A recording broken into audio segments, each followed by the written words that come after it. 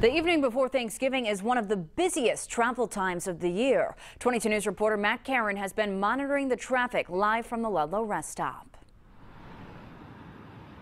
Yeah, well, the good news is a lot of headlights in the background, but not a lot of tail lights, at least where we are right off the highway in Ludlow. Traffic is moving pretty smoothly. I spent the day surveying different methods of Thanksgiving travel. It was busy at Bradley International Airport when we went there this afternoon. The TSA lines were long.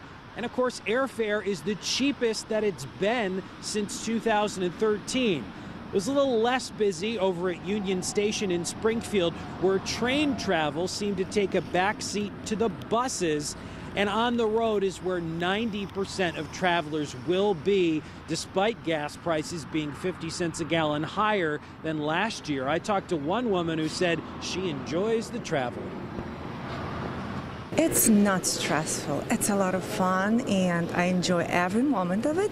Right now I'm at the Union Station and I'm traveling to Boston Logan, Boston Logan Airport and then I will take a plane and I will travel overseas. AAA recommends just to be safe, plan on tripling the time that it usually takes you to get to your destination to be sure that you make it on time.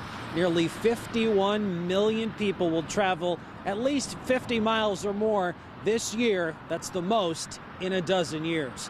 Live in Ludlow, Matt Karen, 22 News. And that brings us to tonight's 22 News Interactive Internet poll question. We asked if you're traveling out of town for Thanksgiving. Just log on to our website, WWLP.com, and click your vote. We'll have the results tonight on 22 News at 10 and 11.